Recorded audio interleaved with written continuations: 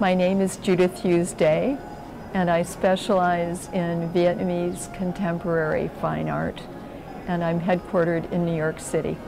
Vietnamese art has been shown in the United States for probably the last 15 years or so, but it still is very new compared to contemporary Chinese art in the eyes of American art lovers. So I felt it's important for those of us that show Vietnamese art to do it in as many ways as possible. I currently work with about 20 artists and many of them I have worked with since I first became aware of Vietnamese art. One of, one of the artists paints with ink on paper landscapes and that's all she does. It's a very traditional medium but what she does with it is very contemporary. I select my artists basically because I like their work.